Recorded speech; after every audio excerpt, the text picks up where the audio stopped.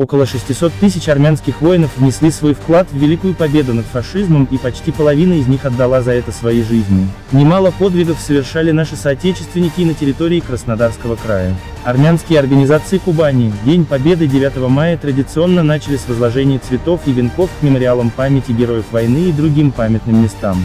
В рамках празднования не были забыты и ветераны, которых с поздравлениями и подарками посещали активисты Союза армян России в различных городах края.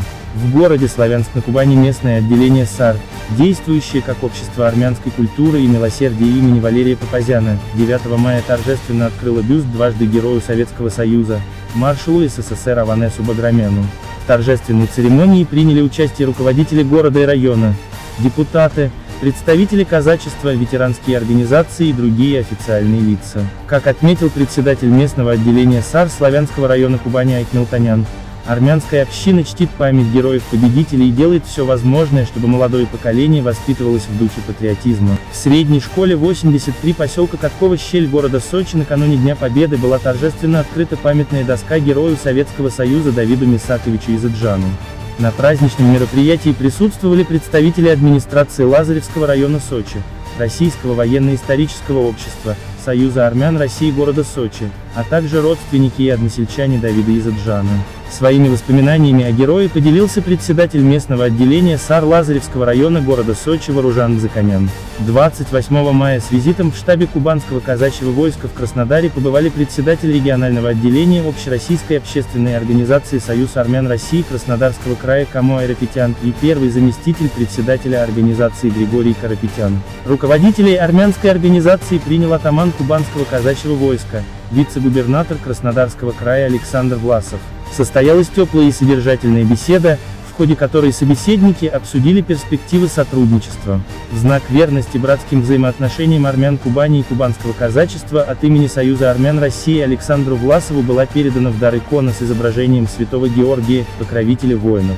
Отделение САР в Новороссийске, действующее как армянское общество Луис, 28 мая отметила 103-ю годовщину основания Первой Республики Армения и исторической победы в Сардарападской битве. С поздравлениями в связи с Днем Республики выступили председатель организации Владимир Мхитарян и настоятель армянской церкви Теркомитас. Состоялось также награждение учителей армянского языка и участников творческих коллективов общины почетными грамотами.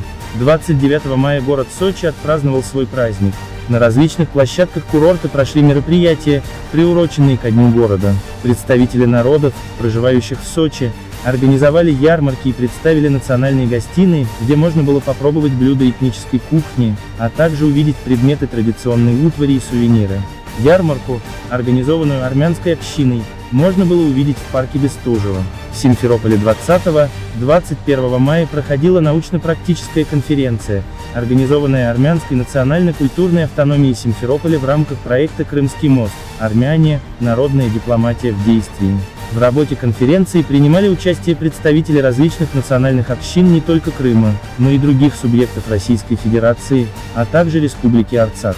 Председатель регионального отделения Общероссийской общественной организации Союз армян России Краснодарского края Камо Айрапетян, участвовавший в конференции, считает, что подобные мероприятия необходимы для выработки общего подхода к вопросам укрепления межнационального согласия и единства российской нации. В конференции также принимали участие представители местного отделения САР города Сочи. Город Армавир 25 мая посетила группа известных армянских предпринимателей, меценатов и общественных деятелей. Находясь в основанном армянами в 1839 году городе, гости встретились с руководством армянской общины Армавира, посетили армянскую церковь Пресвятой Богородицы, строительство которой было начато армянами еще в 1846 году. Они также возложили цветы к впечатляющему памятнику Единства Духа, посвященному русско-армянской дружбе, осмотрели другие достопримечательности города. Мнение гостей, некоторые из которых были в Армавире впервые, было единодушным, этот ухоженный, чистый и комфортный город является одной из жемчужин юга России. В Центре национальных культур Лазаревского района Сочи 31 мая прошла презентация первого выпуска журнала «Мелодии амшенских армян».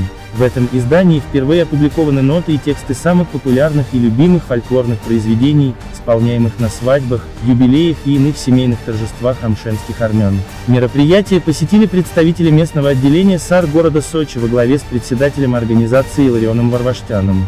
Фольклор амшенских армян обычно сохранялся лишь в устной форме и передавался из уст в уста от стариков к детям. Идею переложить фольклорные произведения на ноты решился воплотить в жизнь Рябунида Ракчан, специалист Лазаревского центра армянской культуры. Первый выпуск журнала он посвятил 80-летнему юбилею Крикора Сааковича Мазлумяна, поэта, создателя и идейного вдохновителя Лазаревского центра национальных культур.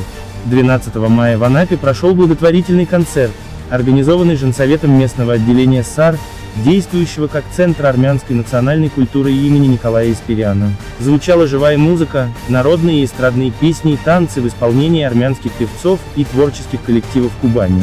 Вся сумма, собранная в ходе концерта, уже направлена семьям, пострадавшим в ходе нападения Азербайджана на Республику Арцах. 29 мая в поселке Южный Денского района Краснодарского края прошли соревнования по конкуру в честь 20-летия общероссийской общественной организации Союз армян России. Традиционных соревнованиях, организованных местным отделением САР города Краснодара, принимали участие 113 спортивных пар из Республики Крым, Ростовской области, Ставропольского края и нескольких муниципальных образований Кубани. 16 мая в Сочи состоялся турнир по футболу на призы Союза армян России, в котором приняли участие команды, представлявшие четыре района города – Центральный, Хостинский, Адлерский и Лазаревский. Все участники турнира были награждены медалями, грамотами, командными кубками и специальными призами. Региональное отделение Общероссийской общественной организации Союз армян России Краснодарского края стремится сделать свою деятельность максимально доступной для общественности. В связи с этим в ряде социальных сетей и на некоторых других медиаплощадках в сети интернет действуют информационные представительства САР Краснодарского края. На экране вашему вниманию представлены ссылки на имеющиеся ресурсы, подписавшись на которые вы сможете быть в курсе работы организации и ее планов на будущее.